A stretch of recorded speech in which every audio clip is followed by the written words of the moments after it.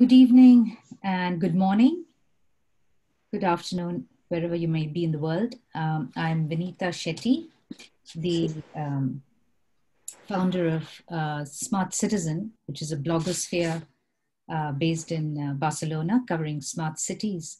And I'm also the convener of uh, Placemaking India, uh, which uh, is part of Placemaking X with 15 affiliates worldwide. I spent part of the year in uh, the city of Barcelona, um, of which Robert Hughes, the Australian writer, said uh, in talking about the relationship between the city and General Franco. Ports are distrusted. Dating from their days of shipping, port cities are too open to the influence of foreigners, to strange and non native ideas, shifting and labile places offering an ease of entry and exit that a landlocked place does not.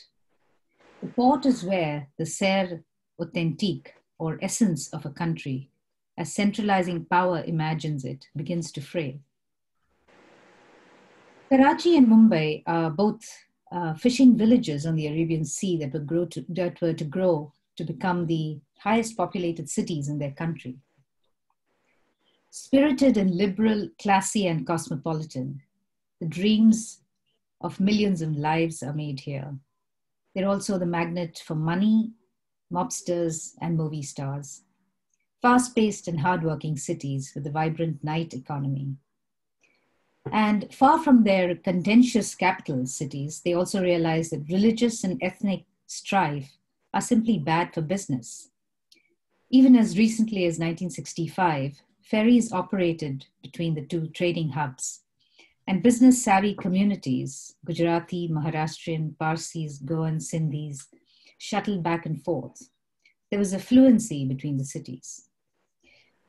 They also had once the cleanest beaches in Asia, and then there was the mutual romance with the monsoon, a romance that turns into a catastrophe every year as heavy rains and high tides paralyze the city. So uh, the same breezes that riffled through my grandfather's apartment in my infancy on Marine Drive blow through Clifton Sea View in So we have participants in the city. And that will be the focus of our, the next hour. Uh, here to introduce and moderate this conversation is uh, Kiran Kalamdani uh, from Kimaya Architects. And uh, Kiran is, um, um, you know, the uh, actually based in my hometown in in Pune. He's an architect, urban designer, and heritage conservationist who also writes, engages in activism and education. And he studied architecture at uh, Pune's Bharatiya Kala Prasarani Sabha Vidyalaya and later joined the Delhi School of Planning and Architecture. After working with Mr. K.T. Ravindran on the ghats of Vrindavan and Mathura on the banks of River Yamuna, he completed his master's degree at York, UK, through a scholarship awarded by the Charles Wallace UK Trust. Uh, after returning to India, he founded Kimaya with his partner and wife Anjali, and together they work on many prestigious conservation projects like Shaniwar Wada, Vishram Bagh, Tulsi Bagh, Council Hall, the, arch- the architectural illumination of um, Chhatrapati Shivaji Maharaj Terminus, Victoria Terminus at Mumbai, and the temples of Nira, Narsinghpur, and Bhima Shankar. He's presently working on the memorial Vada of the Chafekar brothers at Chinchwad and several other projects for government, individuals, and institutions. So over to you, Kiran, if you could introduce uh, Sali, um, Suneela and PK Das. Uh, I have to um, also announce that um, unfortunately, um, you know, Arif Hassan um, had a stroke over the past week and is unable to um, obviously be on this call, but he's very ably represented by Suneela Ahmed, who is his mentee, and uh, she will be um, taking us through his presentation. So over to you, Kiran. Yeah, uh, thank you, Vinita. Should I also introduce uh, Professor Arif Hassan along with Suneela? Uh, yes, you So could do that. Yes. Yeah, yeah, because uh, uh, we spoke with him last time when we had a, a pre-session, and uh, yeah, uh, it's very unfortunate that he cannot join us today. But Arif Hassan is an architect and planner, activist, teacher, researcher, and author of a large number of books, research papers, monographs on urban development issues. He has been the principal consultant to the Orangi Pilot Project Research and Training Institute from 1981 to 2017. He is also a founder chairperson of the Urban Resource Center, Karachi, and a founding member of the Asian Coalition for Housing Rights, Bangkok. These projects are being replicated in a number of cities worldwide and have received international recognition. He has also taught at Pakistani and European universities, lectured worldwide, been a member of various UN communities, and his activism had led to the modification of a number of projects and policies in favor of low income communities. He has received a number of national and international awards for his work and writings, including the Hilal-e-Imtiaz and the UN Year for Shelterless Memorial Award. Uh, representing him is Suneela Ahmed, an assistant uh, professor at the NED University of Engineering and Technology. She holds a professional degree in architecture uh, in the year 2000, master's in urban management from University of Canberra, and a PhD in urban design from Oxford Brookes University, UK. Her doctoral dissertation entitled Understanding Localness of Built Form at the Urban Scale, investigating Makamiyat in the case of Karachi, Pakistan, assessed what it means for a city to be local in the context of Karachi, being specific, having particular variables impacting the built form, but dealing with similar issues of identity crises as other formerly colonized nations. The research reviewed the correlation between variables of identity, built form, and social practices. Suneela has been involved in local and international urban planning and design researches. She has also participated in national and international conferences and symposia and has authored and contributed to urban and architecture publications. Her interests lie in areas related to public architecture, identify and local oblique global connections of the built form with political, social, and economic processes. So over to you, Suneela. Uh, like to hear you talk. Thank you. Thank you, uh, Kiran. Um, I will just uh, share my presentation and then start. Um, these are very big shoes that I have been asked to uh, fill in today uh, to present in place of Arif Sahab. But um, I hope I can, I'll, I'll try and do uh, as much uh, justice to it as possible. But um, just bear with me. Okay, can you see my screen? Is it sharing? Yes, yeah, we we can can. see your screen. Thank you very much. Yes. Okay. So uh, I have had a talk with Arif Sahab and uh, the uh, presentation put together today is basically on his ideas. Um, and uh, they just um, uh, put across his ideas, his principles, and I'm also using uh, some of the photographs which has be, have been and maps which have been uh, taken and developed by him. So uh, I have uh, basically I will just go through the outline first um, uh, because it's a it's it's quite a lot that I'm trying to cover, but I will not dwell too much into either of the uh, uh, sections. What I the intention is to give an overview and get a conversation started. So uh, basically, the intervention is sorry, the objective is. Um, to outline the intervention in public spaces in Karachi via infra- different infrastructure uh, projects with the vision of placemaking. Uh, depending on the approach, in some cases, this placemaking uh, uh, vision led to gentrification, and in other cases, it led to mobilization and empowerment of the community.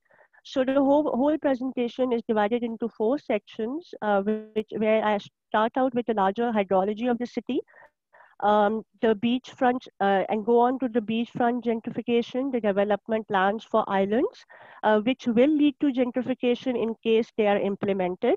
Uh, and lastly, uh, how um, uh, community mobilization and empowerment has actually uh, helped in um, achieving the, the true essence of placemaking. So starting out with Karachi's coast, coastline and introduction, it's a 27 kilometer long coastline. And in, new, in addition to numerous creeks and mangrove forests, it is also dotted by ancient fishing villages, um, which is also said to be the uh, uh, origin of Karachi, where Karachi actually originated um, almost uh, 300, 400 years ago. Um, then more than half of it is visited by hundreds of thousands of Karachiites every week for recreation and entertainment. Half of this 27 kilometers, because this is the only most accessible beach of the entire country. There are other beaches, but they are not very developed and easily accessible.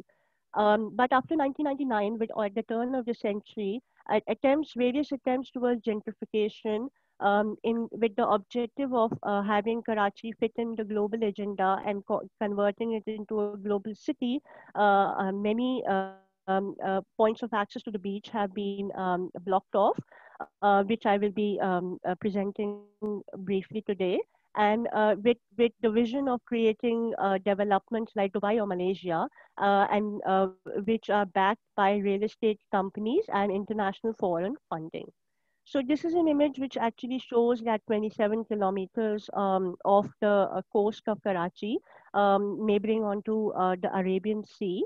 And uh, in this uh, picture, in this image, Google Earth image, I would like you to take a note of two of the markers I've placed. One is the Baba Island and one is the Machar Colony because I will be referring to them and also Clifton, three, three of the markers, uh, because I will be referring to all three of them in my future slides. So basically there is a um, uh, this is where Manora is. So you we have a lot of backwaters and mangrove plantations uh, within this um, uh, uh, uh area, and this also happens to be the harbor, uh, the location of the harbor for the city. This map actually shows the existing sewage and drainage systems in the city. Um, and it shows that we have treatment plants, different treatment plants located but um, within the city uh, and or before the uh, the is uh, actually entering the uh, Arabian Sea, uh, in theory it should be treated uh, through, via these treatment plants, but in reality it does not happen that way, which damages the environment and causes a lot of pollu- polluted um, pollution to enter the sea. Um, basically because of poor maintenance or either the treatment plants are not working or uh, the uh, some of the lines actually bypass these treatment plants. This is another um, map of the city, which, as I mentioned earlier, actually shows the number of natural nalas and drains that we have. And these nalas and drains are supposed to carry the, nat the, uh, the rainwater uh, naturally into the sea. But unfortunately, they have not been retained as nalas and uh, open drains over the years and a lot of different types of encroachment and developments have happened along these nalas and drains, uh, which has again um, negatively impacted the environment and has actually resulted in um, uh, you know the flooding of the sea of the city uh, as a result of the recent um, uh, monsoons which have been happening. Uh, also, the rain, the num- the amount of rain uh, which is happening uh, because of global global warming uh, and global climatic change has also increased. This is uh, these this slide actually outlines the number of issues related to nalas of Karachi. It it shows um, uh, two pictures of the um, uh, two blow, blow ups of two localities within the city, where you can actually see the blue are the covered drains and the uh, red ones are the open drains. So majority of the drains have been covered in the city, the open drains which were existed, uh, they have been covered. And what happens is in case there is a blockage or in case there is a um, uh, there, there is a requirement to clean up these drains, their accessibility gets blocked.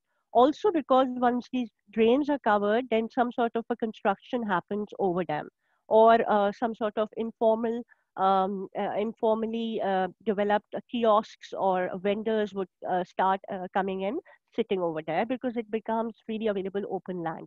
Then at the other end, there is also encroachment happening where um, along these nalas, a lot of housing societies spring up, and they're not always low income housing.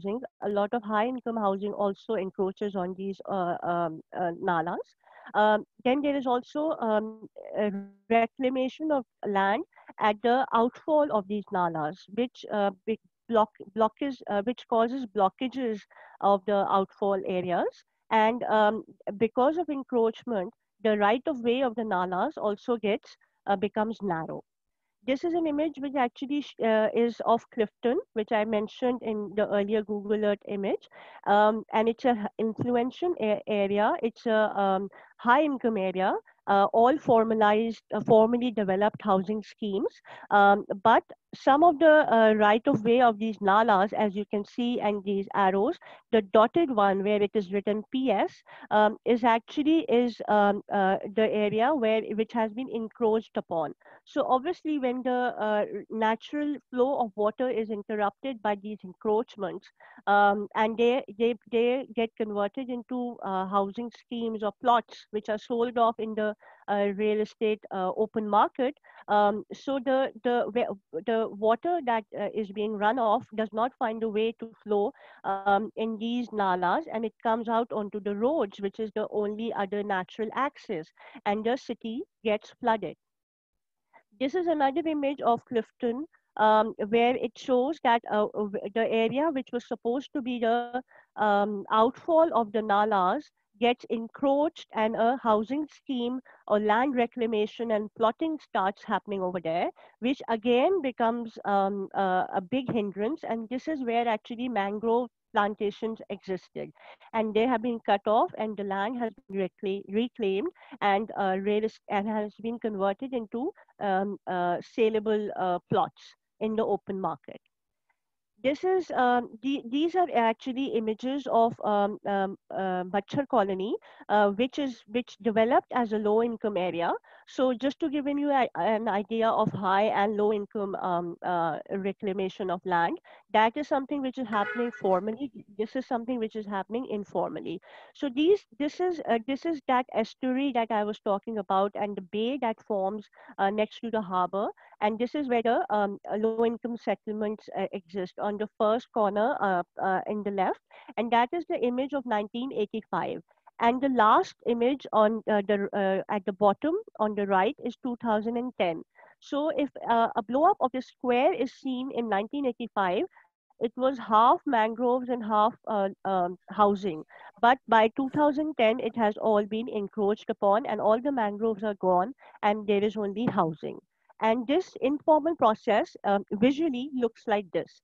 This is how the housing starts to happen where debris are bought in from uh, the other parts of the city. Land is re reclaimed by bit by bit. Uh, plotting starts to happen. Shacks come out and come up, and then these shacks uh, start to uh, consolidate over the years now uh, but there is difference in the uh, way um, uh, sometimes uh, where uh, uh, rich people are encroaching um, this is a, a, a construction which had happened on a, um, a nala in clifton um, where the, a wall has been constructed and a, a, a bungalow has been extended and the lawn has been made over it whereas in um, a poorer income area uh, the the um, uh, debris have been uh, pulled out of the nala to let the um, let the water flow through. So there are some um, opposite approaches in different parts of the cities that happen.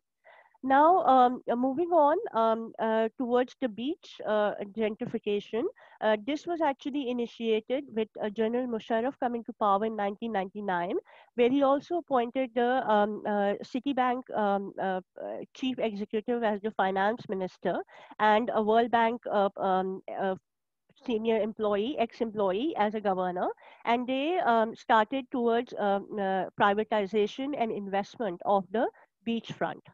Now, um, this this is uh, uh, with Musharraf coming to power in 1999.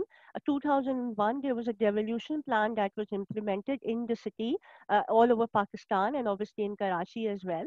So Karachi, as a result of this devolution plan, Karachi became an autonomous city district, and um, uh, a lot of uh, international funding started to pour in um, because um, it attra- uh, because the image of the global city was also being pro- uh, projected, and um, uh, the beachfront was being um, uh, uh, kind of seen or given a vision of being developed in a certain way, um, which would uh, promote a foreign investment. Um, and with Musharraf coming to power, the security situation was also very stable. So these foreign investors were actually interested in uh, putting money um, into uh, Pakistan. So um, uh, the uh, of the 27 kilometers that I mentioned earlier, 14 kilometers are come actually under uh, Defense Housing Authority, uh, which is um, a, a, housing authority which was uh, started in the 70s by the army. Um, and then the plots were sold off in the open market, so anybody can now buy a plot there and live there. But it is a very high income area. And of these 14 kilometers, um, uh, there was a proposal uh, made um, which was al- along the lines of um, six star hotels, clubs, and marinas. And remember, this is actually the beach which is mostly frequented, but not just by Karachiites, but all of pe- people from all of Pakistan because of its, its accessibility. Um, so um, there were also a number of architects, contractors, and builders and developer associations who were also involved in the construction, design, um, and visualization of this beachfront. But there were also a number of opponents, and they included civil society organizations, Worldwide uh, Fund Pakistan, um, uh, World Wildlife Fund Pakistan, uh, national Sindh and Karachi based fishermen organizations because obviously when uh, land is reclaimed for such development and the, uh, the access to the beach is blocked off, then the entire ecology changes and it impacts the lives of fishermen. Trade unions uh, through the, the, Pakistan Institute of Labor Education and Research, they were very active. Um, they were, URC uh, was engaged in it also, uh, Urban Resource Center Karachi. Um, there were a number of low income schools and CBOs from all over Sindh who were also uh, engaged in different ways of advocacy and protest. Uh, the academia was very active. There was a, a, strong role of the media and some corporate uh, concerned citizens and some uh, co concerned corporate heads of this uh, city.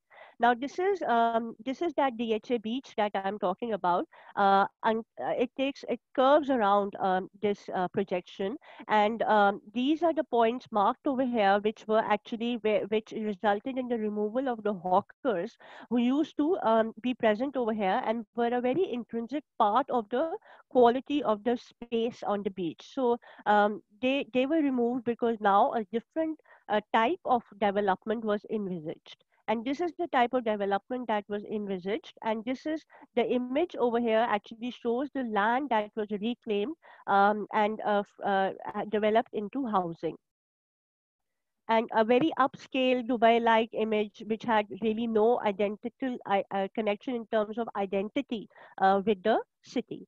Um, some of the other uh, interventions that were done on the beach were uh, also where these international food franchises were bought, the trucks were bought, uh, uh, and they were stationed on the beach, and that local flavor um, was um, quite done away quite a lot this is what the local flavor looks like or looks like still today, um, which is away from that 14 kilometers of DHA beach on the rest of the beach, uh, where um, people just come there, sit there, have a cup of tea, have a uh, ice cream, would take a picture, uh, take pictures with Indian um, uh, stars, or ride a beach buggy or ride a camel.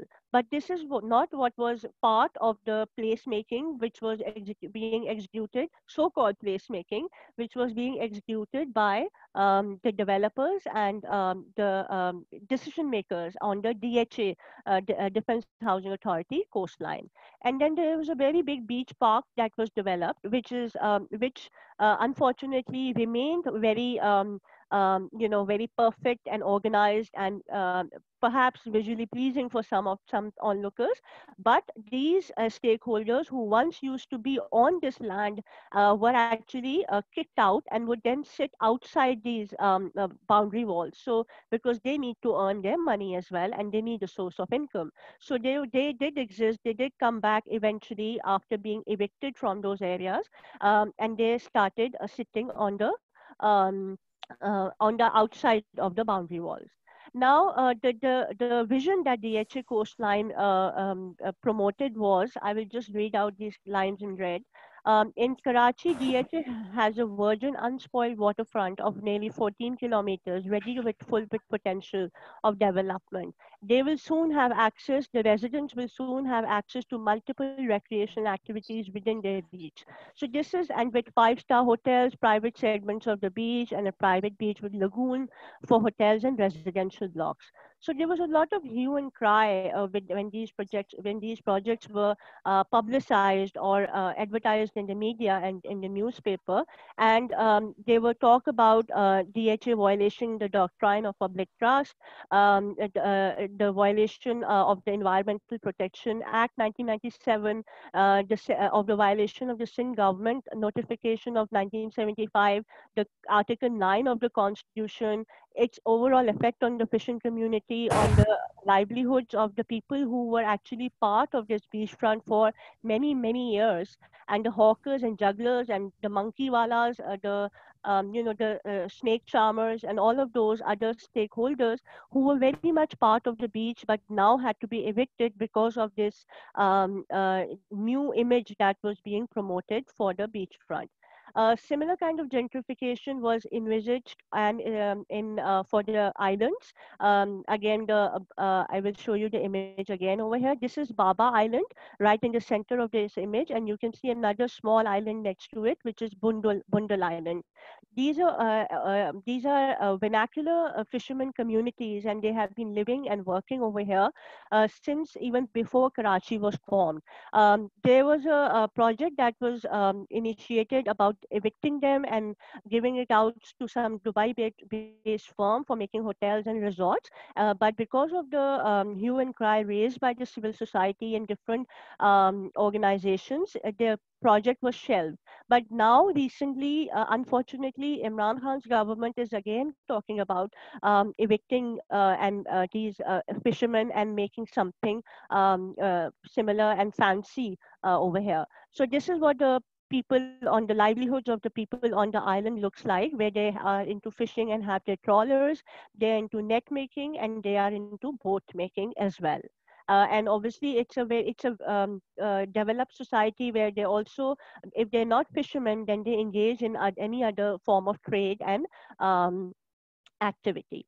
Uh, the objections around these were again similar to the ones around uh, which were raised uh, with respect to the uh, development of the beach, and these were around um, the uh, damage to the environment, damage to the society, uh, damage to the stakeholders, non-inclusiveness of the stakeholders, loss of heritage, uh, both social and physical heritage.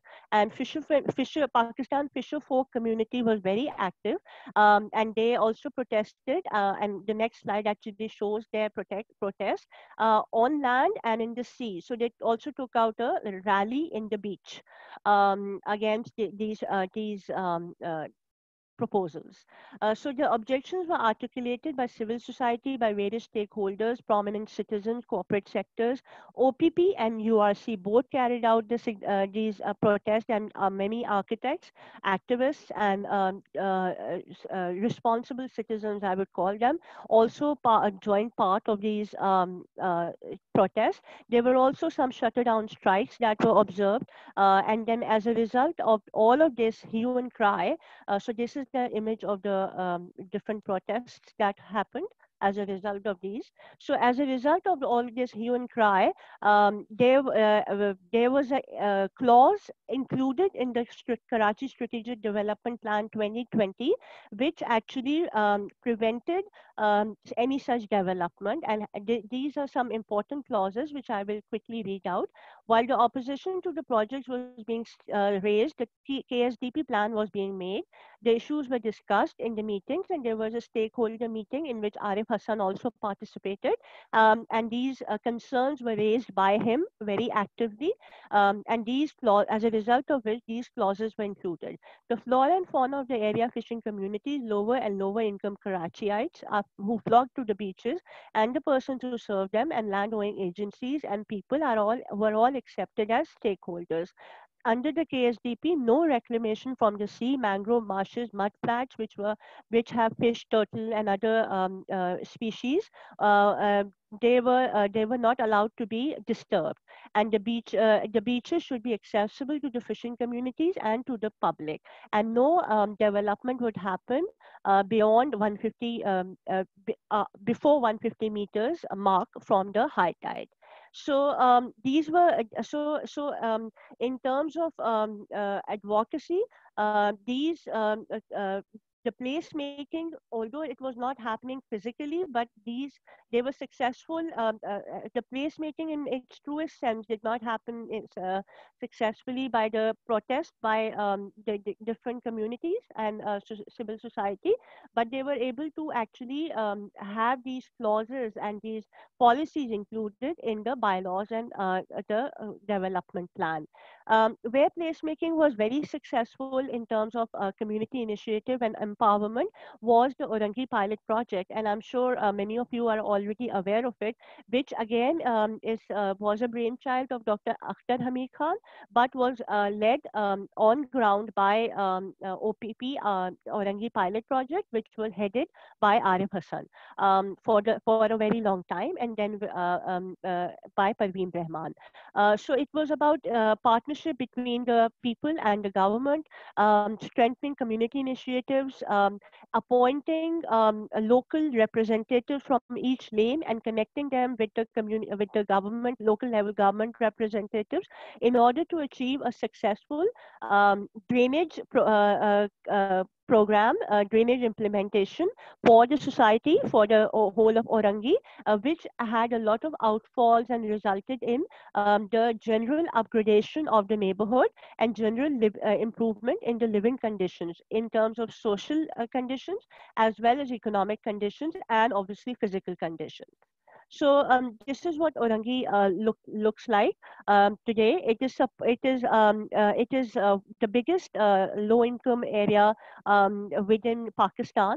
Uh, and there were a lot of uh, community uh, interaction uh, uh, with the um, citizen scientists were, were appointed uh, for each um, lane and they were used to approach different houses, bring the people on board and community led initiatives were um, channeled through people like Arif Hasan and other um, other um, responsible architects and planners um, who joined together, had these regular meetings and eventually um, achieved a, um, a, successful project where the entire society, um, having a population of um, uh, uh, one uh, lakh uh, people residing in them, uh, had houses with proper drainage systems. Um, so basically, uh, in the end, I would just like to read out um, uh, uh, what an oath that Arif Hasan took in 1983 for himself. And before I do that, I would just like to say that architects and planners have played an important role in developing a very large number of anti-poor uh, projects, which is very unfortunate.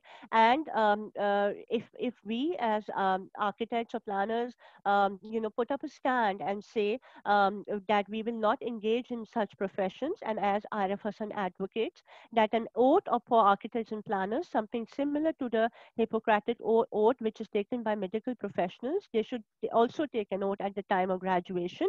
Um, and he has also um, uh, ad, uh, done advocacy related to this uh, with the Council of Architects uh, in Pakistan.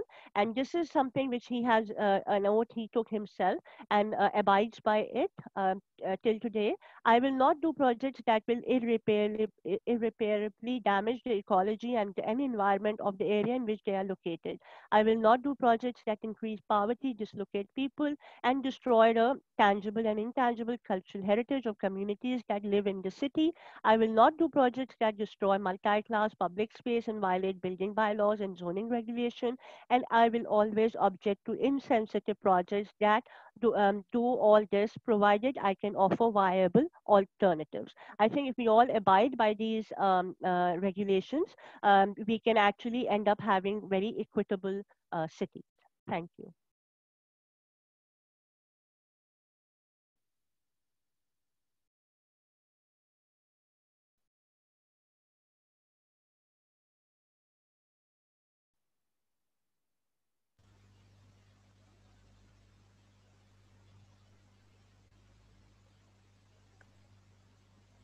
Unmute. Hello, yeah. Uh, thank you, Suneela. I think that was uh, very interesting, showing the dichotomy, you know, between two worlds, you know, that exists probably uh, in all developing nations. Uh, I think you brought out the contrast wonderfully, and thank you for ending on that positive note. You know, the oath is something probably uh, Vinita was was asking me, do architects in India take any such oaths? And uh, PK Das will bear me out by saying that obviously there is no such oath that is taken, but uh, I think we would like to you to share that oath so that you know it's taken by all our uh, architects and planners and urban designers who who are there. Uh, I think we have time for this discussion later on, but uh, we will move to the next presentation, which is by uh, PK Das. PK Das is our friend and popularly known as an architect activist. His priority has been to establish a very close relation between architecture and people by involving them in a participatory planning process while critically responding to the cry for a sustainable ecology. His wide spectrum of work includes organizing slum dwellers for better living and evolving affordable housing models, engaging in policy framework for public housing, reclaiming public spaces, including developing the waterfronts, protection and conservation of natural areas, re-envisioning the city of Mumbai alongside an architectural practice involving urban planning, urban design, architecture, and interior design assignments across India. He has authored several books and publications and has delivered talks and lectures across the world. His work in the development of Mumbai's coastline and his slum rehabilitation projects has won him several national and international awards, including the first Urban Age Award instituted by the London School of Economics and the Deutsche Bank, conferred to the Mumbai Waterfront Center, of which Das is the chairperson. He has also been conferred with the prestigious first International Jane Jacobs Medal of 2016. So uh, here we are, uh, PK, uh, over to you. Thank you, Kiran. Um, thank you, Vinita, for inviting me. Um, I was really eagerly looking forward to, to listening to the great Arif Hasan and hear from him uh, about his thoughts, his work, um, which is which are some of them are really landmarks. Um, we are sad that he couldn't join us and that he's had a stroke, and we only hope that he recovers very soon. Um, thank you, Suneela, for having presented um, wonderfully some of the thoughts that Arif has uh, been working with and championing, and you put them forward so well. Uh, thank you, Suneela, for that. Um, as for me, um, you know, Vinita talked about how much Mumbai and Karachi are liberal cities. And I really wonder today uh, as to what that liberal city really means, or the people in these cities uh, are liberally uh, doing and thinking and acting upon? Uh, that's a big question mark. Maybe liberalism is to be rethought and redefined in the context of Mumbai and Karachi experiences, Vinita. But that's another subject, and we can go to that later. Um, I'm going to be uh, talking today primarily about relationships. And um, the relationships between people and collectively with nature. That, that's my concern. That's the topic of my talk today. Uh, and how much have these relationships developed or have uh, not developed uh, adequately, leading to uh, critical conditions of climate change uh, or climate catastrophe, if I may say so, that we so frequently experience that's just threatening our lives, uh, the very lives and our existence. So I'm really going to focus about relationships. For me, um, ecology um, includes both people and nature. The two are inextricably entwined. And the recognition of this symbiotic relationship is critical to our understanding of the current state of our ecology and its future. and actions that we would then pursue to shape and decide its future. Sadly, this relationship has been severe over time. Our governments and various development agencies uh, have continued to attack and systematically destroy natural habitats. No, no, Raj, just go back, please. I'll, I'll change them when I tell you. Go back. Go back, please. Um, hold on. I'll tell you when to change, Raj. Yeah, Raj, just hold on. I'll tell you when to change the slides. I'm sorry, I'm challenged by this technology and I requested uh, one of the architects in my office to help me change these slides. Um, I'm unable to do them personally.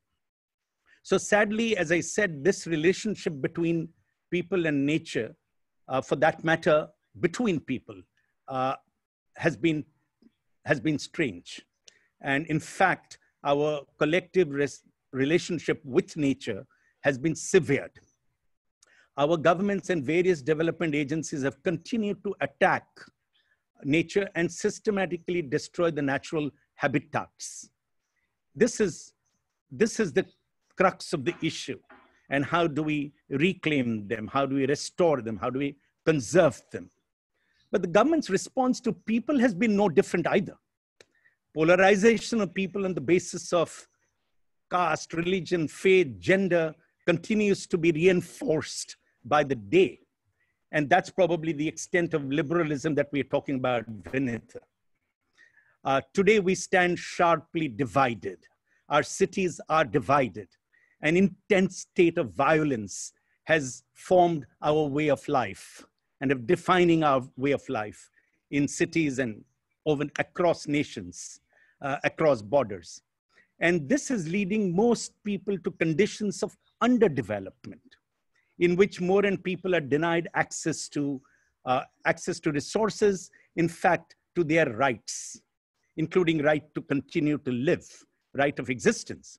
We are experiencing increasingly a world of uncivilized people and places, if I may say so.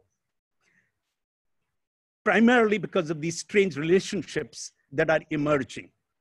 What we are there for, what I'm therefore deeply concerned about, is the constant division of our cities into such disparate fragments, both in social and spatial terms. Now let's take a look at the case of Mumbai. Raj, turn the slides, please.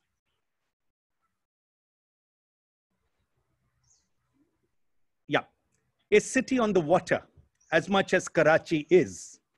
And, and I must, um, um, Suneela, thank you uh, to having gone through many of the issues that we are also grappling with in Mumbai and in India. Um, and I'm sure this is, these are issues are common to many, many uh, cities and nations um, as we have, as we see and hear them uh, and the struggles that are um, raging world over. Um, and if I miss out any details, please recall Suneela's presentations. That beautifully fills up some of the details that I would not be going through uh, uh, for, you know, for focusing on the subject of my paper and for the limited time that I have. In Mumbai, sadly, I mean, th these slides show the kind of richness of the natural habitats or the natural conditions that exist in Mumbai, a city on the water indeed. Next slide, please. In Mumbai, tragically, we have turned our backs to the water and our incredible coastline of the city, which runs over uh, 60 kilometers.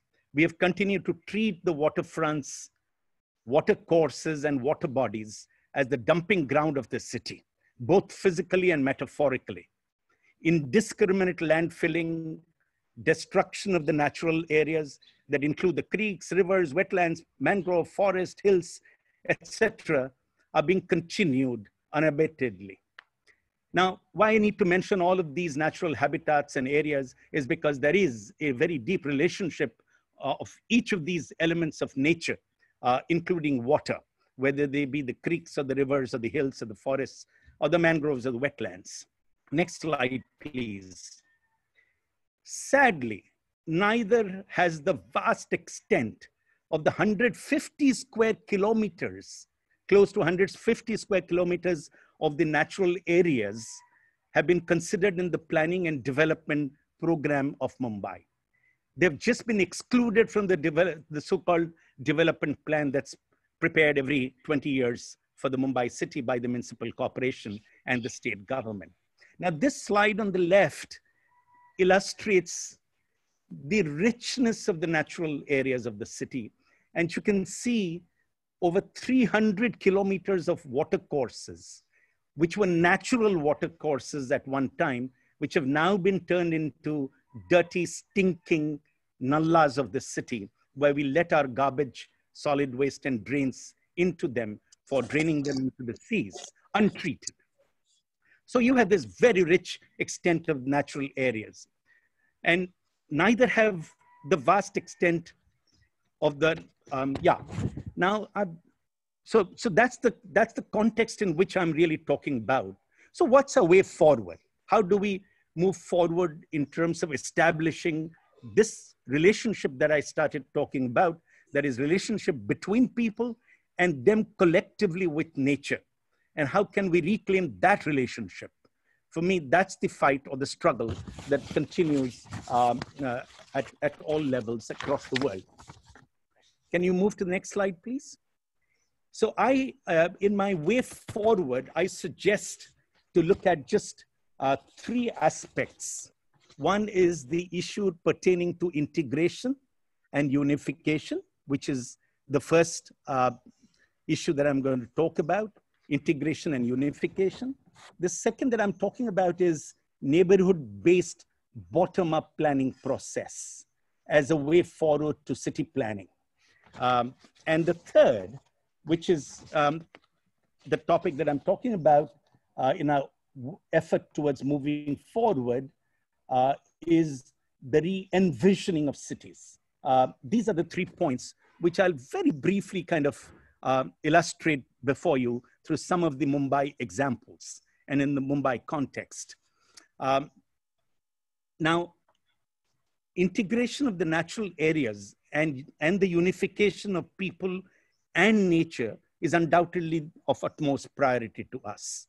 And this we have experienced through some of specific movements in Mumbai of residents, of local area people in reclaiming their, uh, their seafronts, for example, here in this illustration in a sub western suburb of Mumbai called Bandra. Uh, and you can see some of the slides on the left of what it was before and what it has been turned into, a, a, a an unbarricaded open public space that allows um, free movement, um, interaction between all classes of people without any restriction. And this has led to many spontaneous engagements, uh, both formal and informal engagements at the level of the local area uh, people, uh, including influencing that of the city, uh, which has in fact been examples uh, which has led to uh, similar movements across the city. Uh, next slide, please.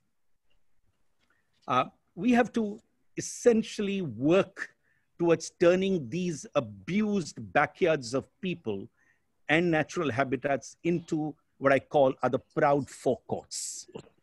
So these, over the years, uh, unfortunately have been turned into our backyards, as I said, uh, for dumping and uh, for disposal of our waste and debris.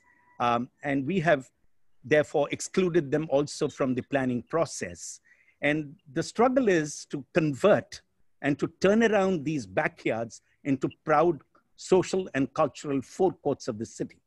So people can begin to engage uh, with these spaces and places and uh, which intermingle with the kind of richness of the natural uh, assets that we have uh, in the city. Um, with these two slides, this is a slide of another neighborhood uh, in Bandra, another area, which is called the Carter Road. And you can see the slides in the left of what it was, the extent of abuse and neglect to what it is on the right.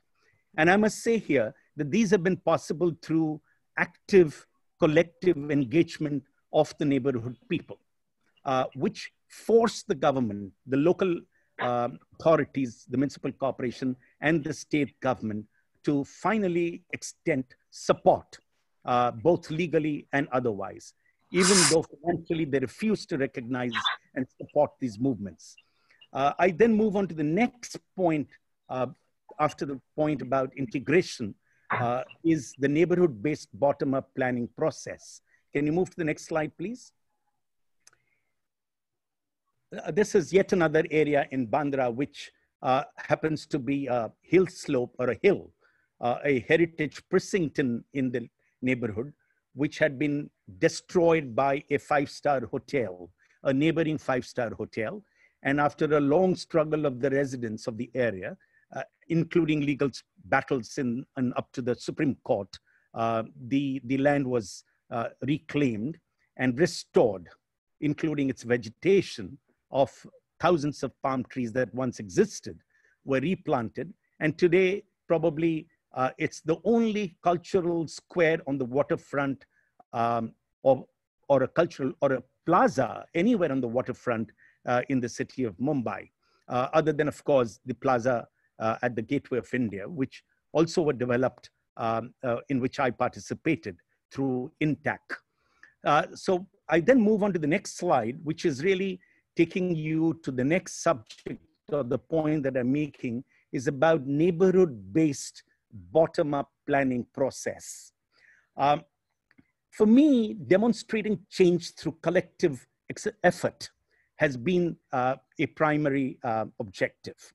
Uh, for we need to bring about, we need to demonstrate change in order to gain confidence, uh, enhance participation, and draw the attention of the decision makers and planners in the city and the city authorities to recognize the fact that it is only through people's participation that real change can be effected.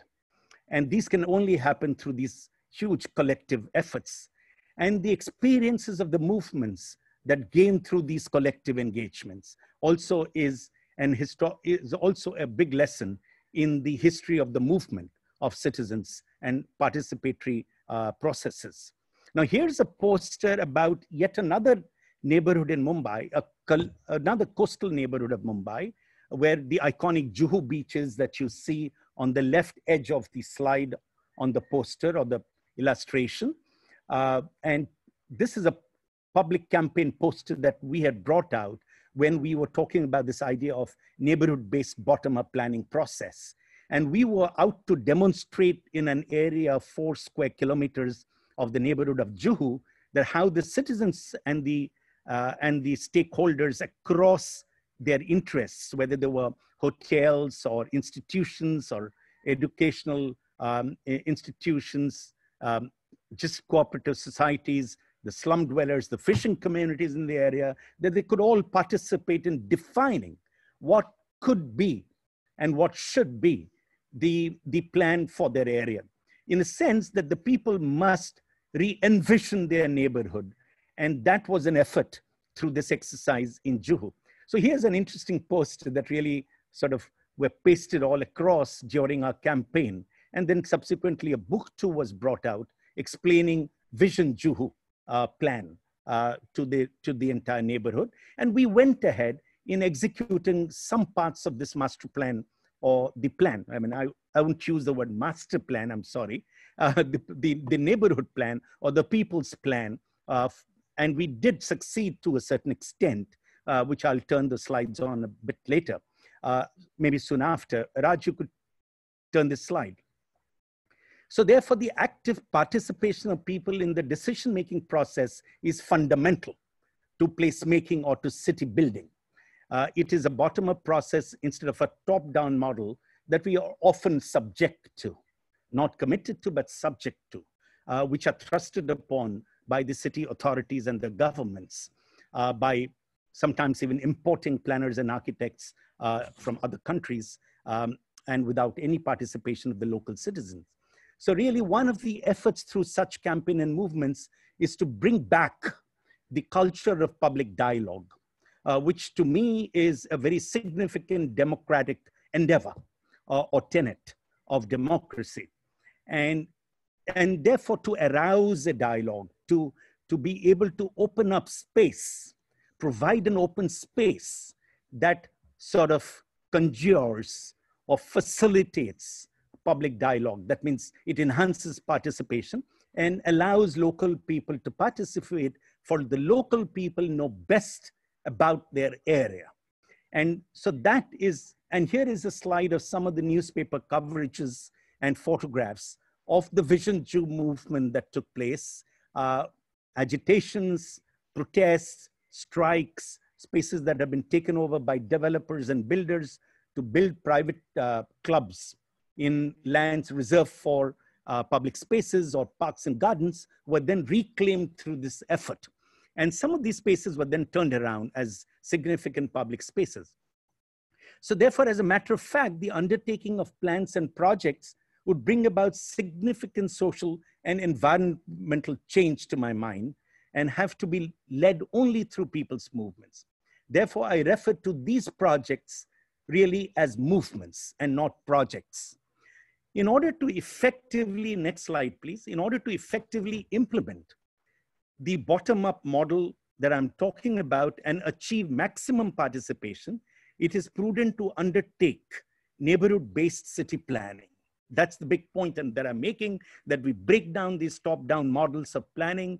The, those are the, the big master plans that are thrusted down and really uh, network a whole series of these neighborhood plans envisioned by the neighborhood people that could then be probably brought together at a citywide dialogue, forming a vision uh, for the city. And for, because the neighborhood people know best about their area, as I said earlier, otherwise they are alienated forever from our experience from these big top-down uh, city vision plans. Next, please. And here you see very quickly through three slides, the, the kind of demonstration of the change that was possible in Juhu area, where on the top, um, um, we, we have, that Suneela showed a whole network of nallas in Mumbai. It's interesting, Mumbai has over 300 kilometers of rivers and nallas, which were the original water courses of the estuary. And we've turned all of them into these dirty, stinking drains that you can see on the top. And to worsen that situation, the corporation went ahead in building these impervious concrete walls along its edges, thereby completely severing the ecological relationships between water and land and water and people. And, and then we intervened in the area to reclaim the water courses, uh, treat the waters of the uh, of these stinking, dirty nallas, and turn them around by, by a phytorid you know, biological process. Uh, and we turned some of the spaces alongside, uh, including networking with, neighborhood public parks, etc., to developing a whole network of public spaces. So to me, these networking of public spaces is essentially an idea about networking people. And that's what we are aspiring to do in order to build those relationships uh, that I initially started talking about as being our primary objective or the key focus of my paper and my presentation today.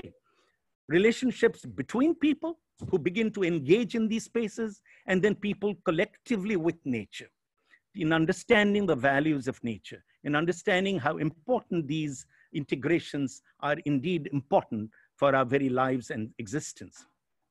So the active participation, uh, so therefore I go, in order to effectively implement these bottom-up model and achieve maximum participation, it is prudent to undertake these neighborhood planning processes that I talked about. Now, through a neighborhood plan, can you change this slide, please, to the next one?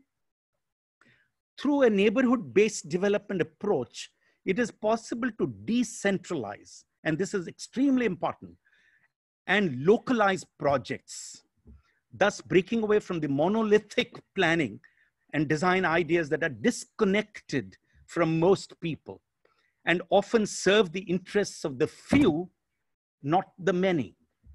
Master plans for the cities are generally top-down models drafted by elite groups and fail to engage with citizens on, on their ideas. Importantly, such neighborhood-based transformations, these illustrations that I showed you across, whether it's Gateway of India or Bandra or Juhu, and many, many other neighborhoods across Mumbai, could never have been envisioned in the so-called master plans of the city the top-down planning processes. So that is also why these movements for neighborhood-based planning is so significant in the effort towards re-envisioning our cities. I think the next most important aspect that we need to talk about is popularization of plans and these movements. For often we are very shy of presenting alternatives and, and demonstrating alternatives. And they can only be demonstrated effectively if they are popularized. So it's a political movement finally.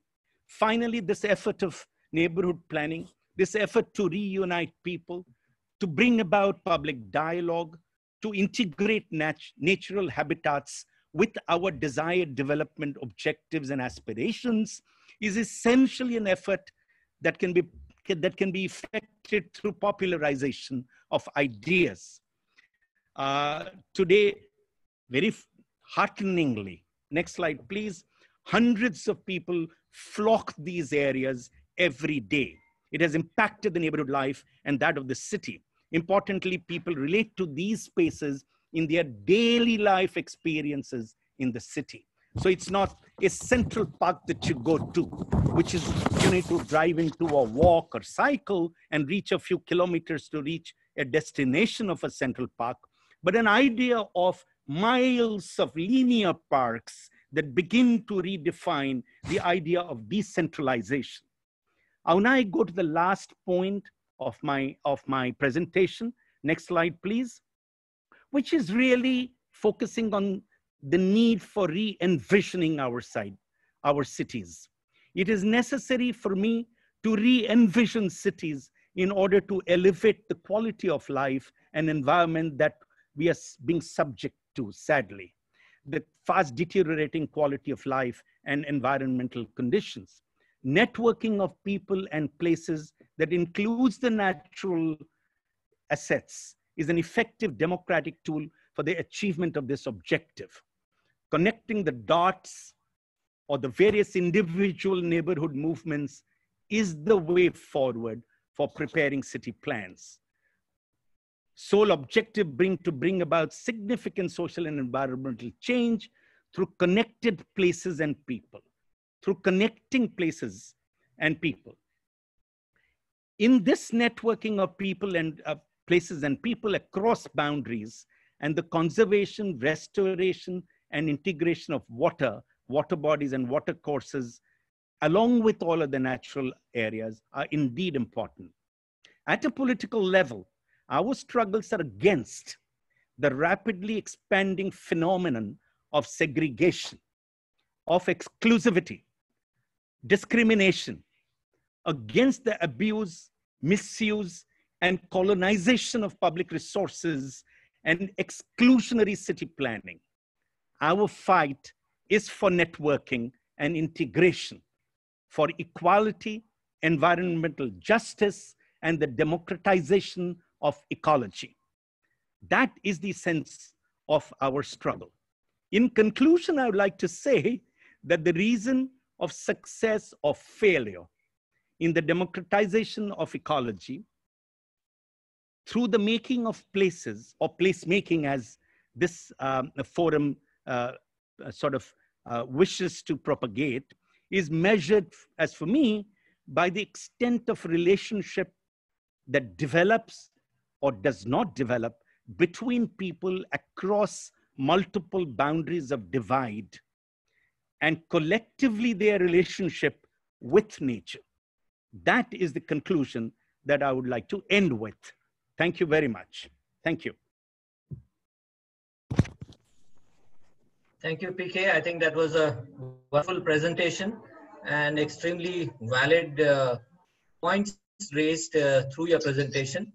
Uh, because uh, it is extremely important that people talk to each other, people understand each other, and people respect each other uh, which is how I, I think the, the, success that you have been able, able to achieve in, in your plans for the Bandra, the Carter Road, or even the Juhu scheme. Uh, they are actually uh, early harbingers, you know, of a change that we all would like to accept and would like to promote uh, through this kind of activism that we play uh, as uh, professionals in, in the field. So I think both our presentations today have brought in extremely valid approaches and shown some positive achieved in our cities and where we don't have to you know go to the other extreme of trying to copy a dubai or a singapore or whatever you know in, in other places and we can still uh, go with the people uh, who uh, really need our services and who need to share the ecology as parts of the, uh, the nature itself and, and become uh, participatory in that respect while respecting environment, by respecting ecology and uh, various basic prerogatives that our cities need to readdress. So I think from here we will go on to uh, people who want to ask questions because I think in the chat we have received some of the uh, you know, encouraging signals where people are uh, liking the discussion that is happening, the presentation and the case studies that have been shown so far. And uh, let me come to you, uh, Suneela, you know, because uh, the four aspects that you based your presentation on, which was the hydrology, the beach uh, gentrification that is happening, the development plans that are taking place, and the community mobilization, where you showed your most successful, uh, the biggest low-income housing project of Orangi. Uh, so how long has the Orangi project been going? And uh, uh I mean, what is the number of people, you know, that are being housed in, in that? Can you give us some indications on this? Uh, it started out uh, in 1980s um, as basically an infrastructure uh, development project which where sewage lines were laid. It was because it started out as an informal settlement, so there was no uh, proper sewage lines. So uh, through uh, this project, uh, which Dr. Akhtar Hameed Khan envisaged, the communities were mobilized, and it, it was a population of 100,000 people at that time. Um, it is estimated that it has uh, reached almost 300,000 people now, but because we haven't had um, any census uh, uh, uh since 1998, so we don't know the exact numbers, but that's an estimation that it has uh, now uh, 300,000 people live over there um, within that area. And the outfall of this project has been after the laying of these uh, sewage lines, um, they have actually ventured out into other um, projects, the Orangi pilot project. Uh, they have developed a research and training institute where they teach um, uh, uh, young um, uh, people who have just uh, finished high school um, mapping and documentation um, uh, and other uh, uh survey techniques and other very basic construction techniques. Um, there are also e economic outfalls in the sense that because now these, um, these this low income settlement has become easy accessible so uh, people get businesses to their houses like um, you know uh, uh, uh factory workers uh, factory owners can reach there get, give out the material for the cottage locally uh, operating cottage industries. Um, a number of houses have tuition centers within themselves where people can now approach these houses. Previously because there was so much sewage and um, the accessibility was so poor that even the economic economic um, uh, status was very poor. So it, through a physical intervention, there has been economic and social upgradation as well. Because obviously when they can earn better, they become socially upwardly mobile as well. So it is all very much connected that um, although it started out as a very much a physical project, but it led to improvement of livelihoods uh, in the longer run that's that's wonderful actually. It's a very very positive way of actually going about it. And, I, and what i like about it is the gradual nature in which it has organically grown. I'm sure just as pk said about the community's involvement as building up various relationships within the community that fosters not just economic development but also imparting of skills or there is other uh, social skills that are shared by people and that gradually helps the entire community as, as at large grow. Uh, so is it a government project or uh, are there any private initiatives also involved in it? Um, it's basically uh, led by a, a community-based organization Uh, but uh, the locals, uh, uh, local sewages were sewage lines were laid by the community-based organization, but the main sewer connection was obviously done through the involvement of the government. Um, so, so they when they finished, they would finish one or two lanes, then they would connect it to the main sewerage line. So, yes, the government was involved, but um, uh, not um, at a later stage. And it was basically initiated, conceived, uh, operationalized by a uh, CBO. I see, I see. Yeah. And the land, I mean, the land, how was the land uh, bank managed? You know, because I think that becomes one of the most critical areas where uh, ownership plays a vital role. Uh, yes, so how it uh, usually works in Karachi is uh, that uh, it starts out as an informal settlement, but once the uh, settlement has consolidated and there are enough number of people and the um, housing stock uh, has converted from a kacha to a pakka housing stock, so they apply for a lease and normally they get a lease to the land and they, it converts into a formal area. So although it started out as an informal locality, over the years it has been able to apply for lease and now it has converted into formal uh, legalized um, uh, area and they have proper papers uh, but it still remains a low income settlement. So the major the uh, population living there is still a low income settlement. Uh, may i may i just add a little bit to um, what you said? Yes please. Is that okay kiran? Yeah yeah yeah. Go ahead uh, pk yeah. A very important um, sort of point here that in any of these um, people's movements, uh, effort is not to uh, exclude the government, uh, but to force them in to take the responsibility. Um, they are our government, and it is their primary job and responsibility to undertake social development works. So at some point, a part of the success of these movements is how we kind of uh, allow a collaboration and takeover by this by the government and government agencies to manage financially and in terms of infrastructure provision which is beyond the capacity of any people or private agency. So i think that's that's very important. Um, i do not wish to champion an isolated CBO or NGO effort as being a model, unless these collaborations can be effected at some point of the movement. True, true, yeah. Yeah. Sunil, you want to say something on that?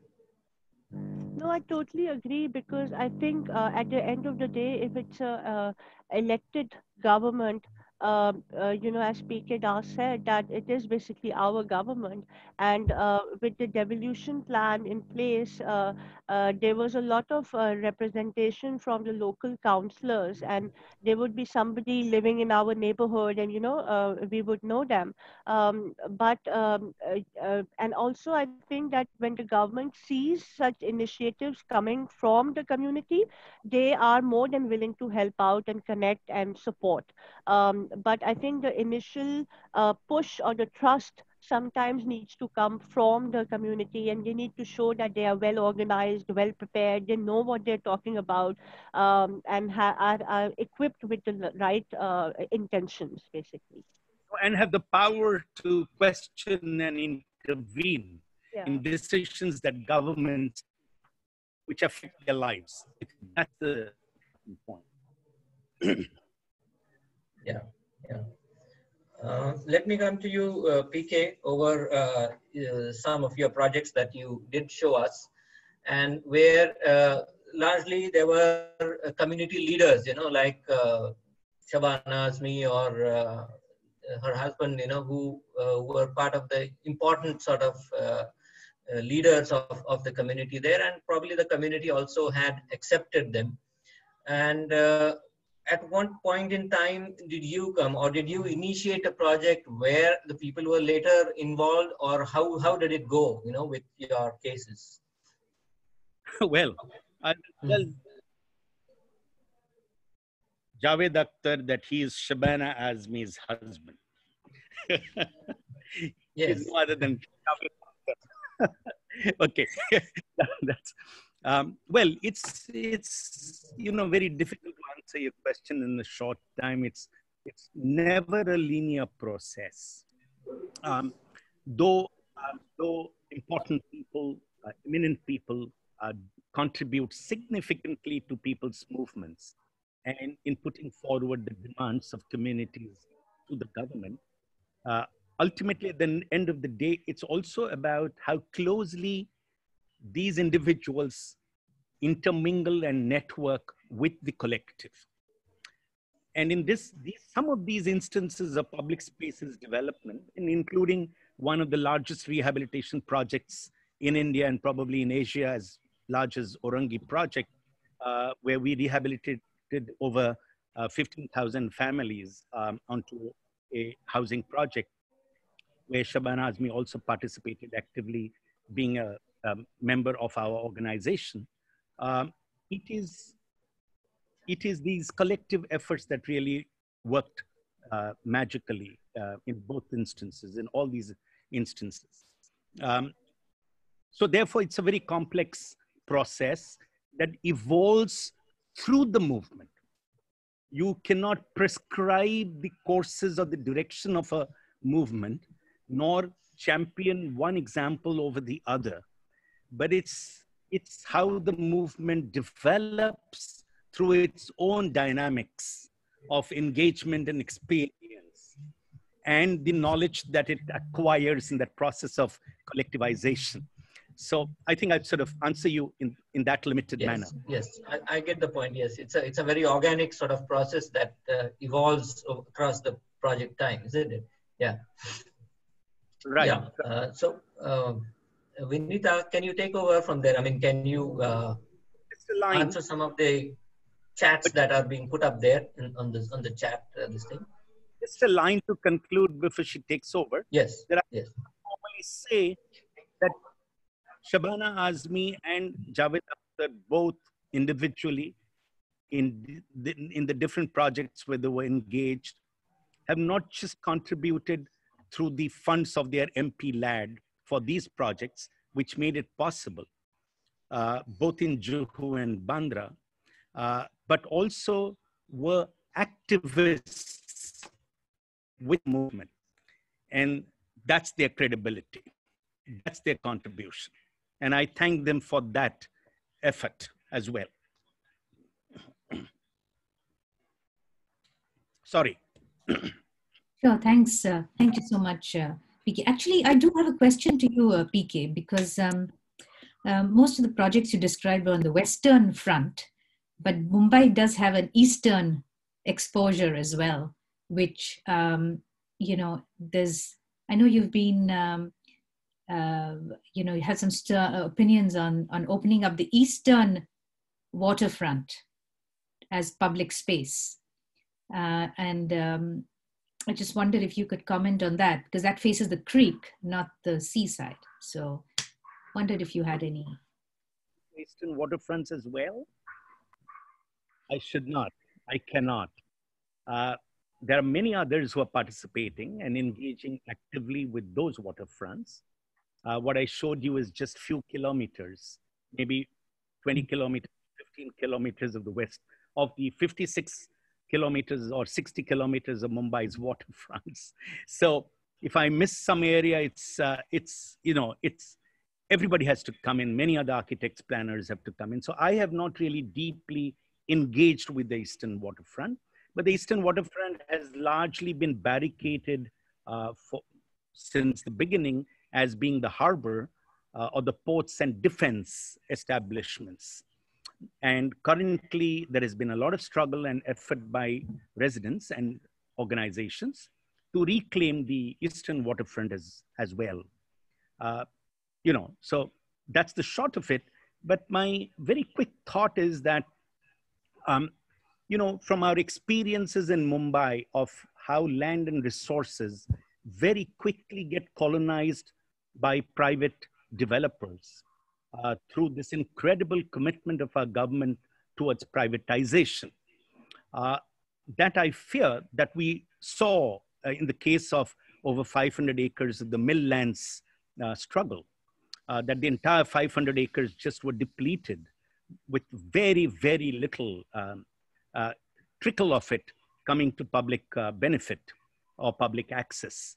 Uh, then my fear is that till such time, uh, movements of people have not developed to capture these spaces and reclaim uh, these areas, uh, that only through formal me planning mechanism, it's not adequate to claim these lands uh, because they will very quickly be converted into private domain um, uh, you know, developments. Uh, there would be more commercial buildings, there'll be more office complexes, there'll be more exclusive developments, and soon the public agenda would be completely lost in that process. I don't know how well prepared we are as movements in the city of Mumbai to have effectively put forward comprehensive ideas uh, through collective effort um, for the Eastern waterfront. So that's my only um, sort of point at this point of time. Sure. The subject of another. I have not engaged. Uh-huh. I think this will be the subject of another Zoom call, possibly. There was a question from uh, from Terim uh, Fatima. Uh, yeah, um, uh, Terim, uh, is the question answered, uh, or would you still like to um, explore this further? Because she wants to she wants to know how to involve locals into projects, as you showed in Bandra.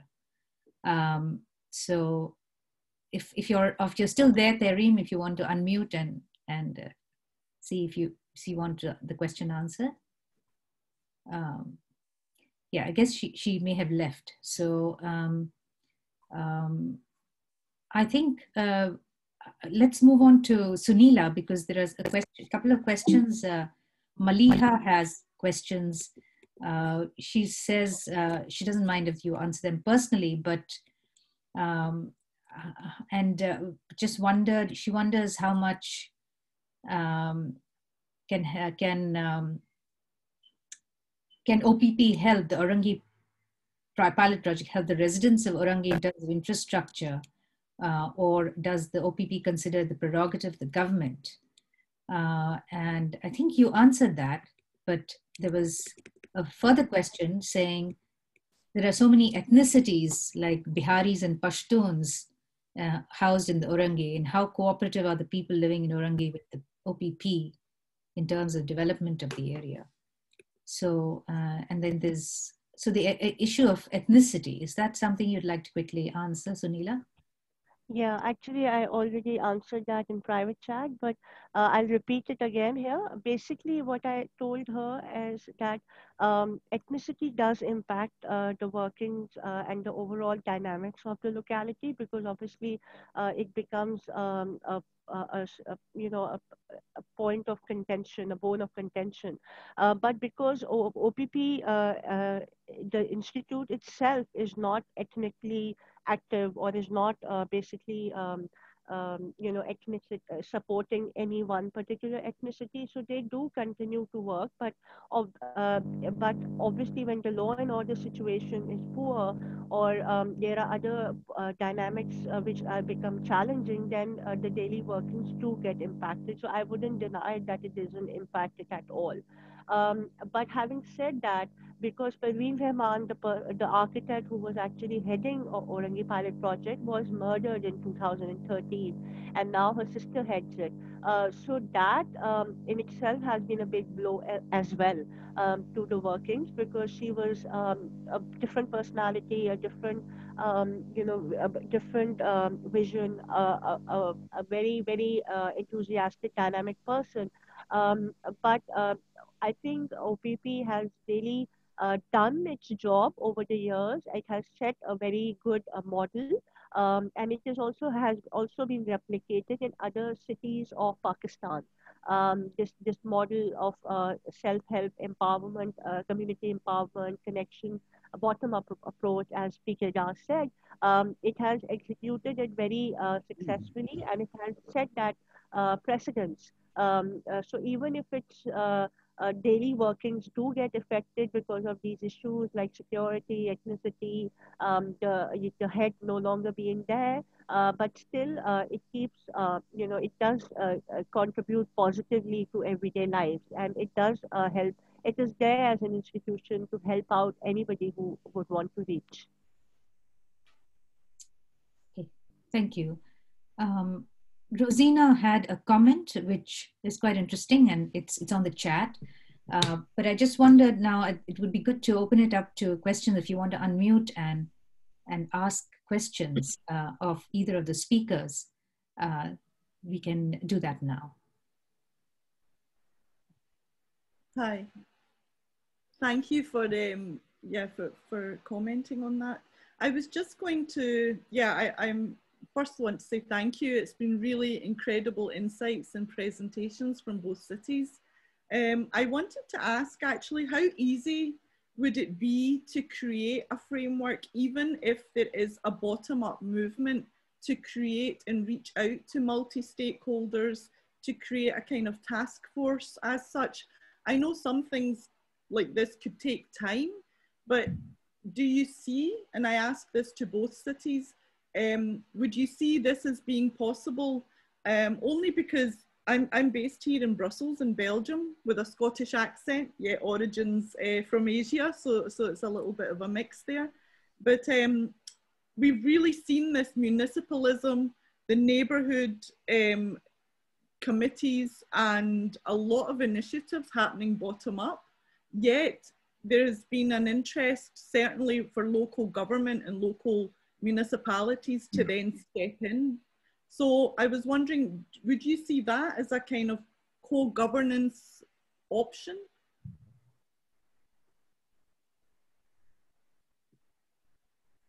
Is this I pose that to both speakers. Well, I think uh, if, can I take this question first? Yes, um, yes. please go ahead, PK. Yeah. It's a very complex uh, issue and a very complex question too. Uh, uh, the point is that um, the bottom-up process has many contradictions and conflicts within it, um, as every movement has many questions for itself. It has many challenges within its own dynamics and many contradictions within, which the struggles have to continuously battle with as much as the battle uh, with the others outside the movement. Um, for example, when we talk about bottom up, how truly is it bottom up in terms of integration of the diversity of people uh, and how effectively it has been, uh, it has succeeded in uniting the, uh, the excluded, the marginalized people uh, in every neighborhood that we are talking about uh, or championing as, the, as a process of bottom up planning uh, in the city? Um, it, that's a very complex question. For example, um, the, uh, back, there was this discussion about gender equality.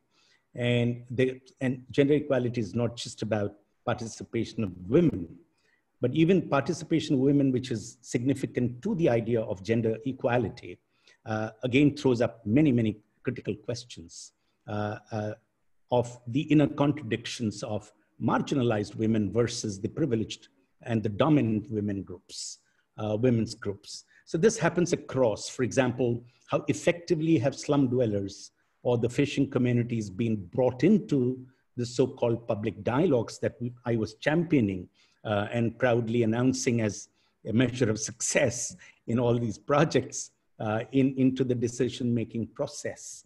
Um, did they come in initially? Did they back out through the process? They couldn't relate to them. Why couldn't they relate to them? Why couldn't their participation be sustained throughout the process? Was the, pro was the movement led then by the uh, upper middle class, upper class people who aspire to have these beautified spaces, uh, barricade them, create more barricaded spaces across cities. So one of our struggles is really this, is these inner contradictions and struggles of the movements themselves or within movements themselves. The idea of de-walling the city, the idea of demolishing these hierarchies and exclusions. Uh, that really, to me, is a big point that I'm just leaving it yet as another question to the question that was asked. And to say that, yes, there is no one answer that I, we could say or I can say or the movements can say is surely um, a prescription. They evolve and they must evolve, otherwise movements would die.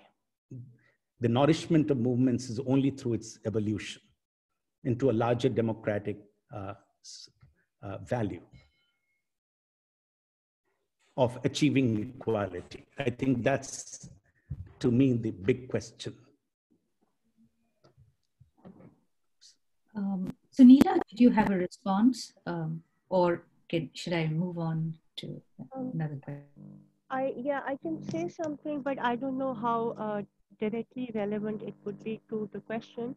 But I also believe that uh, one of the reasons for having uh, the, the uh, struggles that we are faced with today are also because um, of uh, the colonial history that we have had, where we have actually had uh, this, uh, um, you know, non-inclusive way of being governed. Um, or, or you know uh, the, the locals are not valued enough or um, they, the laws and the bylaws and the policies are uh, brought down and forced upon. Uh, and some of these uh, colonial old um, bylaws are actually what uh, policies are actually what uh, govern or what are still used in our context. Um, so, so I think uh, there is there is a requirement for looking at um, re revalue, revamping, revaluing those bylaws as well because um, they are not very inclusive in their own uh, nature. Um, so even if a uh, if even if a master plan is drawn, even if a policy document is drawn, even if these focus groups are conducted where the locals are represented, but how much of that uh, demand or their requirement is actually internalized by um, the people who are finally executing this uh, uh, these projects? That I think becomes very crucial to understand because um, you know on paper you would be calling these uh, focus groups and stakeholder uh, uh, uh, participation by fishermen community and other local representatives. But um, do you really include the, their demands and their desires in the final designs or the outcomes of the project? So I think, um, again, uh, it, it becomes um, different levels of analysis and different tiers um, right, starting right at the policy document and uh, going down right at the um, final implementation. Thank you so much. There was a question from Indra Munshi, and then um, Asif, did you have a question as well? Maybe you can take them both together. So uh, Indra first, Indra Munshi, and then uh, tell us where you're from, Indra. I'm unmuting my mic. Oh, Indra, in, unmute yourself, please. I threatened his saying, I'm unmuting my mic.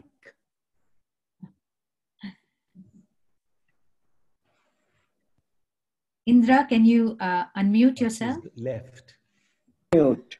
Ah, okay. She's just okay. Okay. Oh, yeah. Thank you very much. Yeah. Uh, thank you for the very, very interesting and inspired two presentations.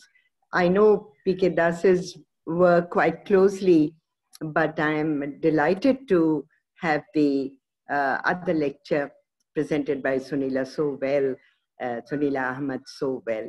Uh, anyway, mine is not a not a question, but just a comment um, that you know part of the ecological and people friendly city making or city designing is uh, what uh, Patrick Geddes, this uh, Scottish urban uh, so, uh, sociologist, planner, uh, called making of citizens.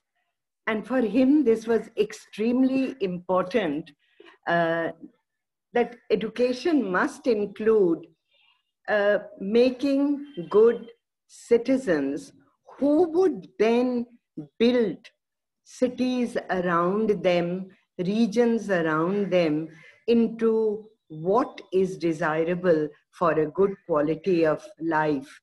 And this education was not to be just for students of architecture or of uh, planning, but this was to be for all.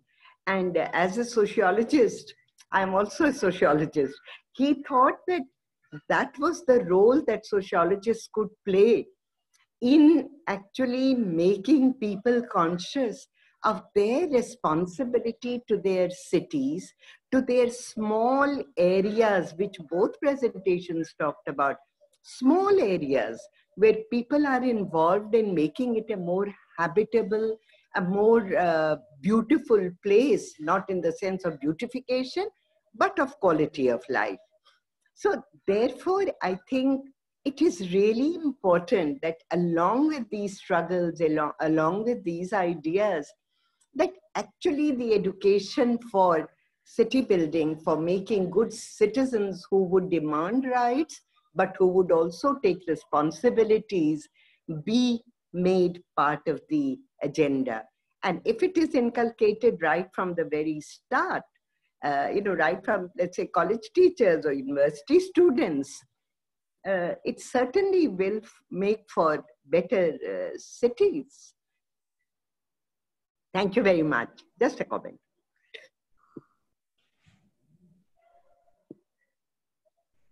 PK, uh, did you want to respond quickly to that or uh, Suneela before I move to ask Not really uh, respond, but maybe add a little bit um, to what Indra said. And that public education cannot, does not necessarily in any way mean uh, people going to schools to study architecture, urban planning, or sociology or geography. But one of the uh, ways to democratize knowledge is probably through um, public dialogue and campaigns, uh, where you demolish these hierarchies of ways of learning and educating uh, oneself and others uh, collectively. Um, so for me, um, this ground campaign and wider dialogues uh, is significant to uh, add a point to what Indra was saying. Uh, of course, that doesn't mean that you, those who desire shouldn't study through formal education processes. Uh, but, but, but this is um, the point just I'm adding to Indra's uh, view. Uh, Suneela, is there any, um, I wonder if you have any thoughts about where this dialogue could occur? Like, you know, what are the some of the forums uh, that uh, the dialogues could occur? Because you're, you're an educator yourself, but uh, um, yeah. When I was doing my um, PhD and I was actually looking at localness, so um, I engaged with a few school students, school going children and, you know, young teenagers. And I was trying to uh, get from them that how do they envisage their cities. And so I thought that, uh, you know, that, that is one forum which becomes very important, what, what Indra is actually talking about um, at the very primary level of education, where you make them responsive citizens and you um, uh, inculcate in them the ownership of um, uh, of uh, the city. Um, and also at home i think uh, being a mother you know just simple things like not throwing your garbage uh, on the street mm. or at least knowing where the garbage that you're producing on a daily basis where is it going? Where does it end up? Um, education about recycling about sorting at source uh, making a kitchen garden uh, very very basic stuff. But i think these little little steps can also contribute to a large larger change because you know um, I I um, I, plant, I, I live in, a, in an apartment and I have planted uh, um, some vegetables on the treetop, uh, uh, on the rooftop, sorry. Uh, and when I, uh, when I share those images with my friends, they are so fascinated by it. But I think it's such a simple thing. Why can't anybody and everybody do this? It is not difficult at all growing some, you know, kitchen, making a kitchen garden. So these, I think, are very small, minor steps. Like when I teach environment to my first year architecture students, the first thing I tell them to do is to um, download the app of a water calculator and just calculate how much water they use every day. And they, they're surprised by how much water they are wasting every day. So I think um, these, these small, small little, little steps uh, make responsible uh, citizens and a, hopefully a responsible generation. May I add another point to um, what both of them talked about, Indira and you talk about, um, Suneela, um, which is a very big subject, but I just leave that as a point for future uh, thinking and discussion.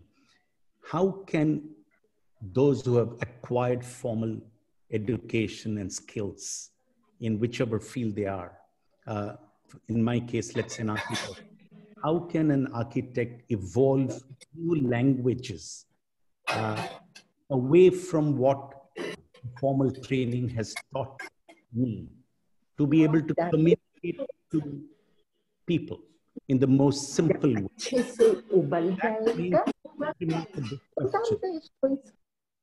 Because architects, for example, are trained to do sophisticated presentations in boardrooms through PowerPoints. When you sit with people, maybe some of those techniques alienate them. A lot of people even don't know how to read a map or a plan. So how can we evolve new languages of communication? And that remains a challenge. And that's the reason why I keep saying that all of us educated through formal uh, institutions have to join people's movements to evolve these new languages and skills of communication so we can also add and enrich the dialogues and the public knowledge uh, dissipation. So that's, that's for me has always been a struggle as an architect, formally trained architect. Thank you so much. Is, uh, can we move on to Asif? Um, Asif, uh, uh, who's um, you know participating all the way from Dhaka. So please carry on. Uh, hello. Uh, so I'm. Uh, thank you, Vinita, for introducing me to the crowd. It's uh, it's an absolute pleasure to be here. Uh, actually, the question I was about to ask has already been answered. So I would also like to add something to that.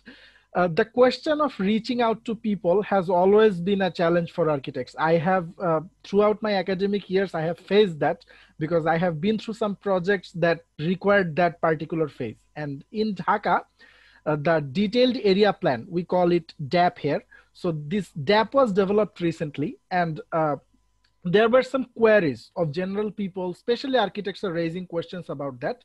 So the government actually uh, arranged some form of formal public hearing of that plan. But the thing is nobody kind of turned up because we did not have enough measures to reach out to people and to make them understand what is at stake here. What is the point of doing a detailed area plan or things like this.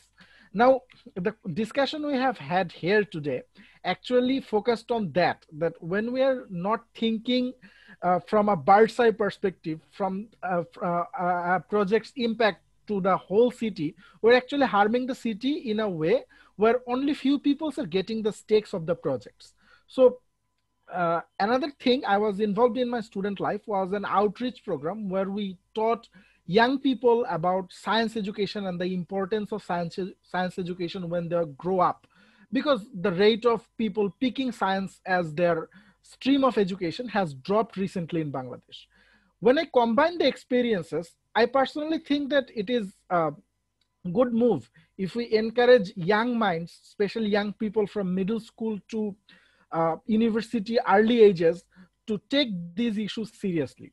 So my question would be, how can we actually do that? How can we uh, engage to a much younger generation? Because as uh, PK sir has already mentioned that we struggle with technical jargons the, the people who are educated in uh, technical education sectors like architecture, urban planning, or even engineering. So how can we actually do that? Can I respond to uh, very quickly? I think a cross-disciplinary um, uh, education really helps there. Because if uh, if an anthropologist um, is teaching uh, a course in architecture or a sociologist is teaching a course in architecture or, or a ge geographer is teaching uh, some courses in architecture um, so that kind of uh, gives a different way of looking at a city uh, from a different point, point of uh, vantage point and a different at a different scale and uh, that is what i think um, the, these uh, community-led projects. That is why they have been successful also because these architects actually converted uh, into anthropologists and went into the communities, lived there, understood them, engaged with them, and then they came up with these solutions that were um, the best solutions for them. So I think that is one way of kind of restructuring the uh, any educational curriculum where we see that it is too distant from the community and involve um, disciplines which are more involved, uh, more engaged with communities and have those professionals come in and engage with the uh, uh students. One way of doing it. Thank you so much. I would actually want to add a reverse psychology to this.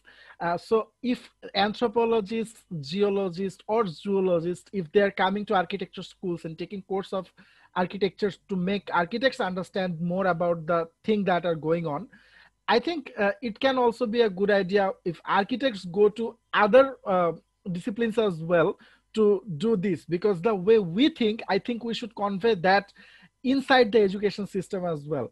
Uh, overall, I think that's a very good answer to my question. We have room for one more question before uh, before we close. So, if anybody uh, would like to pose a question, uh, um, if not, um, if not, I'd like to hand over to um, Asba, uh, who is uh, the co-curator and co-host of this event.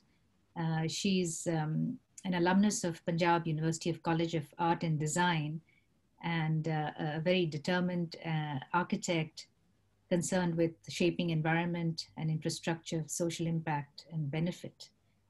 And uh, she's um, been instrumental in uh, the founding of Peacemakers Pakistani, which is uh, our affiliate in Pakistan, Placemaking India's affiliate in Pakistan. And um, she's um, done a number of interesting projects there, uh, including, um, uh, you know, um, bringing life to underutilized open spaces and uh, done a campaign uh, titled Fun with Trash in different schools to educate younger people in, in uh, Pakistan to be mindful of their waste generation. And so I'd like to um, hand over to Asba to, to wrap up. Uh, if there are any takeaways that uh, she would like to highlight, um, that would be great. And then to just close the event. Thank you. Over to you, Asba. Thank you, ma'am. Thank you for uh, organizing this event. And yes, thank you for, to both presenters and especially ma'am Suneela for presenting for preparing this presentation in such so a short period of time and presenting it so well.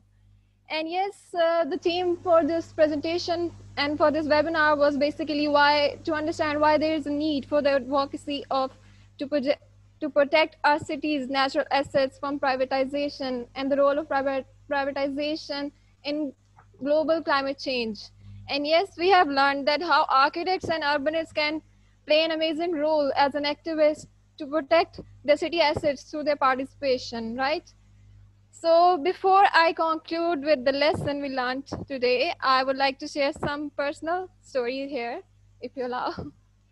So yeah, basically the purpose and the courage from where I started Peacemakers Pakistani came from my personal experience and a case study visit in a colony in Lahore and it was a slum area. And i was there and i was just as i entered i was asked like as a student i was asked that uh, ma'am are you here to make changes for us? Are you here to make better better area for our colony? And i was like okay i was there just for a privatized project case study. And i was thinking how do i answer this person? And he was younger than me and he was a young boy basically so yeah i just moved through that place and i was and i just lost the entire project purpose and i was working through that project. What what can i do to what can i do for these people? So yeah that's where the courage came from. And now our recent project that we we have been working on for since last year was the fun with trash campaign. And we have been reaching out to schools which are working in the slum areas for the student for the children of slum areas people and they are educating them. And for that we worked on a creative project and we teach we just interacted with students and we just taught them how they can be aware of their trash and how can they utilize the solid waste and which can be recycled and can be used for their creative purposes and they can just make their school look better. That's how we just uh, in uh, we just in uh, um, we just have the communication with them. And yes the point what what has been raised uh, just now that how the architects can learn to communicate with people or with the uh, with people and with children especially. We just i just have my stu- my juniors who are students in the punjab university and i just took them there and i just talk, tell told them just talk to students and they will teach you what they want and and how they want. Learn their language and that's how we have uh, done three successful projects and it was a school transformation project using solid uh, using the recyclable materials. And yes it was a fun project and we are uh, working with more schools and trying to educate them. And that can be one approach as well like just create campaigns and go to schools. Schools are very willing to work on projects like these the creative projects. So heading on towards just concluding the lessons okay as an architect urbanist and a placemaking leader what i have seen till now is that we are more focused more uh, the practitioners are more focused on how to re-envision or how to reimagine our cities on a greater level on master plan level. But i think the first step should be identify the reason or the cause why you want to do it or what you want to protect or what you want to advocate for like reinvigorate or the climate changes or anything that you have and just try to focus on that. And then see which areas you can work on which is and then bring the people into discussion. Like the sapike have said collective engagement of citizens. You have a topic you have a reason to protect you have a climate change issue and then reverse that with the people on how to make how to engage them it's not basically about how to engage them. It's like giving them a discussion to do and then ask them to share their vision or share their participation or role. What do they think? Hear them out ask for their opinions. People will talk. People want to talk. Just give them a good topic to talk about. And then with their participation then revision your uh, city or let's say space. From space and then move on to big projects like this. Uh, there's a principle in placemaking about 10 places with the 10 things to do 10 plus things to do. And then these 10 plus places with the will rise to 10 plus destinations and that will be a successful city. You use that formula to achieve a good a good or successful city that works uh, on sustainable level. Okay? And yes three points are reinvigorate and climate changes or whatever you focus on a problem and then you have a collective engagement of citizens over that and then revision and then integrate that through plans and execute whatever you want to execute. That's how i conclude this session and this was our talk about. And yes i just uh, applaud these two activists who are working very who have worked so well and are continuing to work. Thank you so much for contributing to their to your cities and to the world. Thank you. Thank you, Asba. This is actually uh, a year uh, of, of um, this is actually launching this event um, um, a year to placemaking India Week, which will happen in December first week, 2021, 2021. Uh, we had to postpone this year's event on account of COVID uh, because the local government, regional government in Mangaluru uh, was so absorbed with COVID duties. And, you know, obviously it just wouldn't have been right to organize it at this time. It is a live event. But uh, we look forward to your engagement for next year's event, which is on the theme of waterside placemaking. And um, we'd like to invite a lot of uh, people from all over South Asia to come and attend, uh, including Pakistan, Bangladesh. And um, with that, I'd like to um, close the session. You can keep in touch with us uh, at uh,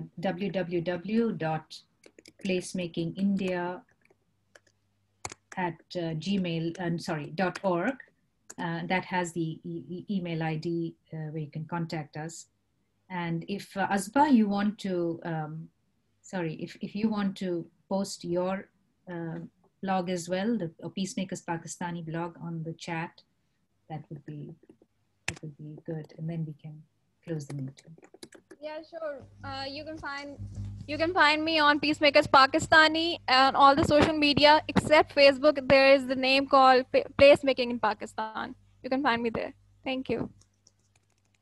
Thank you very much. Thank you both for your participation, Suneela and PK Das. Um, it was so invaluable, and people have, you know, uh, uh, said that they found it very interesting and uh, very insightful.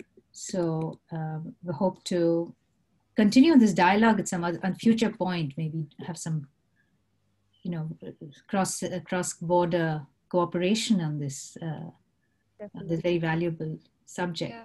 If, uh, I think there's scope for doing that. And we'd like to hear about other cities that people want to hear about. You know, there could be other cities, possibly Islamabad and Chandigarh. Uh, that's something that we've discussed, uh, Asba and I. Uh, perhaps you'd like a session on, on those two cities. So do uh, feedback any uh, suggestions you may have. Thank you so much. And thank you for spending, uh, the rest of you, thank you for spending your Saturday evening with us, choosing to do that among all the things you could have done. And uh, look forward to seeing you at another event. Thank you. Thank you, everyone.